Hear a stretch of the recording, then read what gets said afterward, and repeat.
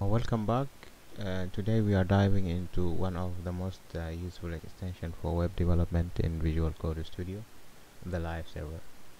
If you have ever been tired of constantly refreshing your browser every time you make a change then you will love the live server. It allows you to see your updates in real time. Let's set it up. Uh, first uh, make sure that you have uh, Visual Code Studio open then go to top left corner on the sidebar square icon extension or simply just control shift X and on the search bar type live server. And then look for look for the extension and click install. Wait a few seconds. Now it's ready to use go to view uh, on command palette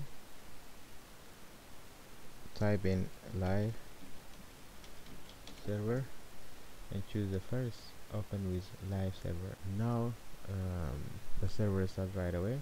Let's make a few change and see. Welcome to simple HTML page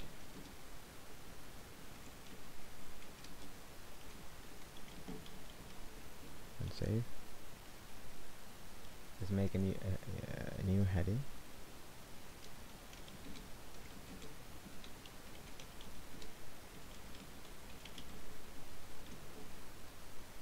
And let's add more.